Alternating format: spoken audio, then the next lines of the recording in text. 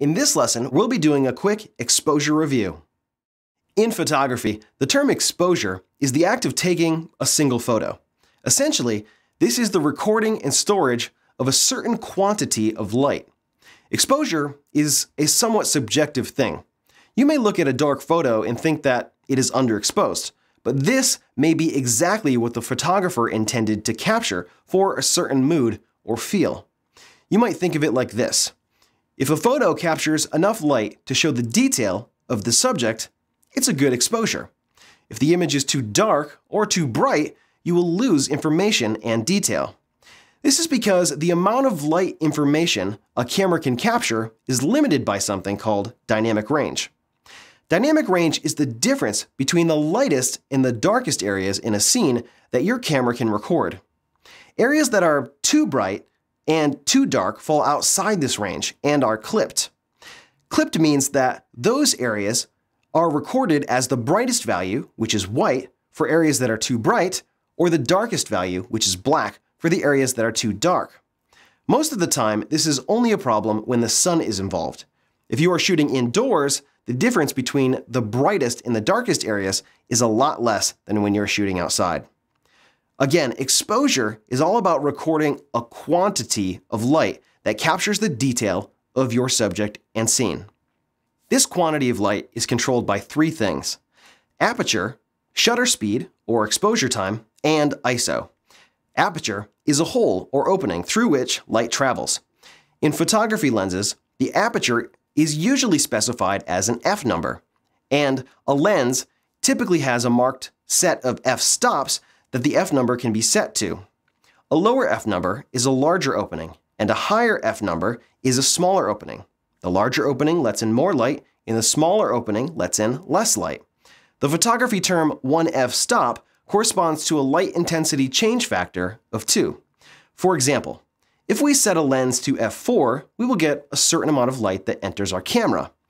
If we change the lens to f2.8, we have effectively doubled the amount of light we are allowing to reach the image sensor. If we change this to f2, we are doubling the amount of light again. Compared to when we first had the lens set to f4, we are now letting in four times as much light. The largest f-stop a lens can be set to is called its maximum aperture. This will vary from lens to lens. Generally, more expensive lenses have a larger maximum aperture. The second element in exposure is shutter speed or exposure time. Shutter speed or exposure time is the length of time a camera shutter is open when taking a photo. The amount of light that reaches the image sensor is proportional to the exposure time. So an exposure time of 2 seconds would be twice the amount of light as an exposure time of 1 second. There are two terms here, shutter speed, and exposure time. Shutter speed refers to a camera with a physical shutter, like a DSLR. The shutter sits in front of the camera's imager and blocks the light. When you take a photo, the shutter opens, revealing the image sensor and starting the exposure. Then a period of time goes by and it closes, covering the image sensor, blocking the light, and stopping the exposure. Many smaller cameras do not have a shutter, and these work in a slightly different way. The image sensor is exposed to light all of the time, and this is actually how you preview the image. You are looking at a screen that is showing you exactly what your sensor is seeing. When you take a photo, your camera reads and records the information for a period of time. This period of time that your camera is reading and recording the information from the sensor is the exposure time. Both the shutter speed and exposure time are dealing with a period of time that your camera's sensor reads and records the information. These two terms mean the same thing. So if I say exposure time, you can assume that I'm talking about shutter speed as well. The shutter speed or exposure time are in minutes, seconds, and fractions of a second. Most of the time, this will be fractions of a second. For example, a 1 100th exposure time would be 1 100th of a second long. A 1 200th exposure time would be half as long, and thus allow half as much light to hit the image sensor. The last thing that affects exposure is ISO, or image sensor sensitivity. ISO is the equivalent to the old ASA scale, or the newer ANSI scale, which dealt with film sensitivities. An ISO of 800 on your digital camera is equivalent to an ASA 800 film speed. ISO in digital cameras refers to a rating of your camera's image sensor sensitivity. A higher ISO setting makes your sensor more sensitive to light, meaning that you can take photos in darker conditions without the need to use a flash or tripod. A typical digital camera will have ISO values of 100, 200, 800, and 1600 as a minimum. The higher the number, the more sensitive the camera is to light. These values are relative to one another, so ISO 200 is twice as sensitive as ISO 100, and ISO 800 is four times as sensitive as 200, and so on. When you have shutter speed and aperture values that cannot change, the only way to increase exposure without adding light is to turn up the ISO value. So how do you set the values for aperture, shutter speed, and ISO so that you get a proper exposure? To do this, you need a way of measuring the light and interpreting the values into useful information. Thankfully, this is easy because your camera has a light meter that will do most of the work for you. There are usually a few ways to measure and interpret the light, and these are called metering modes. Evaluative metering. This is the default on most cameras, and usually the default for automatic shooting modes. This is a general purpose metering mode that works well for directly lit and backlit situations. Center weighted average mode measures the light across the whole frame, but strongly biases the center of the viewfinder area. Center weighted metering is a good mode to select when you want to capture a brightly lit subject and be sure it's exposed correctly compared with the surrounding area. Partial metering mode. This measures a small circular area that covers around 10% of the viewfinder area at the center. If the surrounding area is darker or lighter than the main subject, this mode is a good choice. It will usually give you the correct exposure for your subject, as long as your subject isn't very light or very dark. Spot metering mode. This measures a small circular area in the center of the viewfinder that covers about 2 to 4% of the picture area. When you have a select area of a picture that you want to precisely meter and don't want the other areas of the scene to affect your exposure, this is the mode you want to use. This can be a bit challenging to use because you really have to pay attention to exactly what you are metering and do a little interpretation for yourself. With a basic understanding of these metering modes, we can interpret what our camera is telling us and use this information to set aperture, shutter speed, and ISO. These exposure elements, aperture, shutter speed, and ISO are referred to as the exposure triangle. If we change a value, like aperture, we have to change at least one of the other elements in order to maintain the same exposure. Here's a quick example. All right, here's an example of this exposure triangle. You're looking at the back of my Canon 7D, and in front of here I have a little scene set up. You can see a little bit on the monitor here. And this has just basically some photo junk sitting on a case, and it has a constant light source here.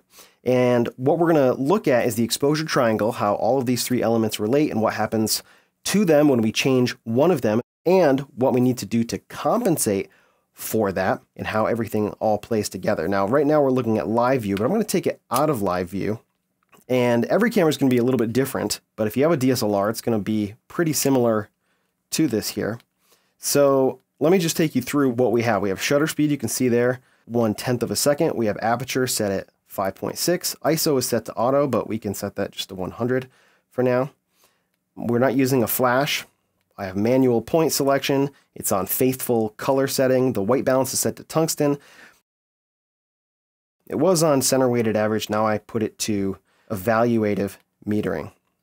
I'm also going to set the drive mode to single shot. It's also in manual focus mode so that we don't have focusing issues here. So if I half press the shutter button, this little meter right here is going to tell us what the camera is seeing based on what it's seeing. It's interpreting all of the light here, and I specifically set this up so that there's a very hot spot of light that's just hitting this big lens here, and everything else is pretty much dark. So that may present a problem, and that's something that we're going to look at. So right now it's set to evaluative metering, and you can see with these settings, it's showing us that I'm about one in two thirds stops underexposed. So if I take a photo just like this, you can see that most of the photo is dark, and then it looks like there's a spot that's way overblown right here. It doesn't look like there's a whole lot of information there. And that's because all the metering modes, what they want to do is they want to make the scene 18% gray because visually that's basically what our eyes tell us is halfway in between white and black. And so basically it's shooting right for the middle. And so based on our metering mode right now, this is telling us that that was one and two thirds stops underexposed. And you can see that most of the scene does look dark except for this crazy bright spot right in the middle here. So what we can do is if we want to change this, we need to change one of the parameters, one of our exposure elements. So because we're shooting still life here, we could take our shutter speed and make it slower. So we were at one tenth of a second. Now we're at one sixth of a second, third of a second right now. And now this is telling you, so you can see as I half press the shutter button, that now the meter is saying that this is properly exposed. So if we take a, a quick shot here, you can see, yeah, we can see more of the scene. because the shutter speed is so slow, I'm gonna take the drive mode and I'm gonna set it to two seconds. And that way I can press the shutter, let go, let it take the shot, and we won't see any vibrations. And so you can see that this photo is much more balanced. We're not getting mostly dark in one hotspot. If we want to increase the shutter speed, so let's set this back to, let's say, one one hundredth of a second. Now, when we press the shutter speed, we're seeing we're more than three stops underexposed. So what that means is we changed one of the elements in our exposure triangle, which is, those are all up here. We have shutter speed, aperture, and ISO. So now what we need to do in order to get the same exposure as our last shot, we need to change either our aperture or our ISO or both. So let's jump over to ISO and let's crank this up at least three times. So 200 would be one, 400 would be two, 800 would be three.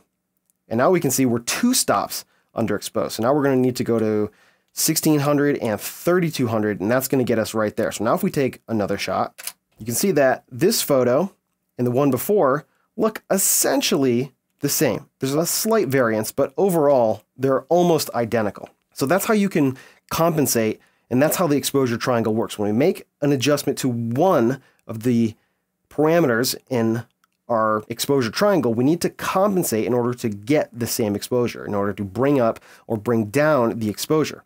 So for example, if we left it at 3200, or let's bring it down to something more reasonable. Let's say 800. That's pretty reasonable. And now we take our shutter speed and we roll this way down to 1 8. Now it's going to tell us, based on the evaluative metering, that we are 1 and 2 thirds stops overexposed. So if we wanted to leave ISO at 800 and shutter speed of 1 8th of a second, what we'd have to do is we'd have to increase the aperture, or actually decrease it. We'd have to increase the number and decrease the size to let in less light. So now when we take the photo, you can see that this photo and the one before are almost identical. Now, if we didn't want to make such a drastic change here, we were at 5, 6, we could go to, let's say, F8, and then we can increase our shutter speed to 1 13th. So we can alter two parameters to get the exposure in check. And we can see that that is going to look very similar to the other photos that we looked at before.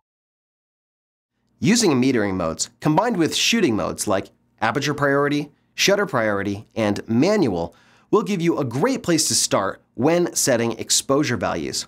The trick is balancing the exposure triangle with the side effects of each exposure element. Each exposure element has a side effect, shutter speed and motion, aperture and depth of field, and ISO and noise. In the next few lessons, we are going to look at each one of these in more detail, starting with ISO and noise.